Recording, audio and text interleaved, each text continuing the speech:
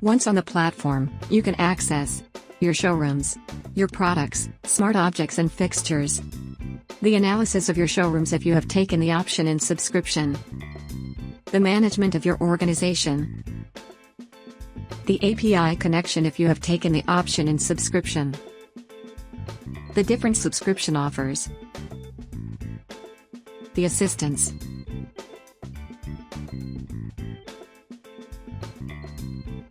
Please note, the bubble with a question mark allows you to watch a tutorial.